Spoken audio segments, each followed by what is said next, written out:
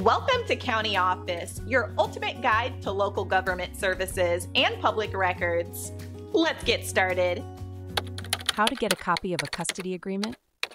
To obtain a copy of a custody agreement, you must first identify the court where the agreement was finalized. Custody agreements are typically filed with family courts. Knowing the jurisdiction is crucial. Next, visit the court's website or contact the court clerk's office. They can provide information on the process for requesting court documents. Some courts may offer online request forms. If the court offers online access, you may be able to request and receive a copy electronically. This can save time and effort. However, not all courts have this service available. For courts without online services, you will need to visit the courthouse in person. Bring a valid ID and any relevant case information, such as case number or parties involved.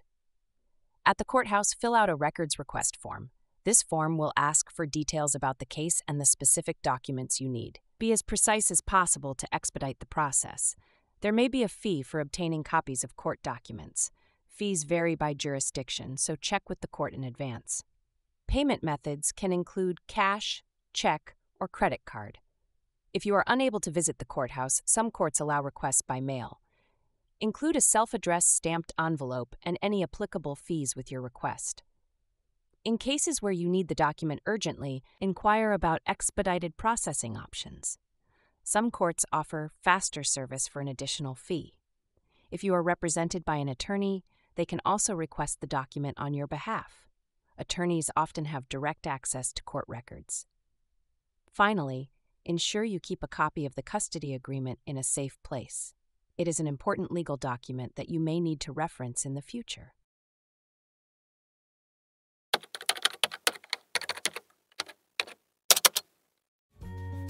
To learn more, check out these links, which you can click in the description below.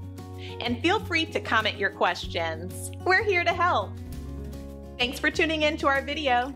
Please like and subscribe and leave a comment below. See you in the next video.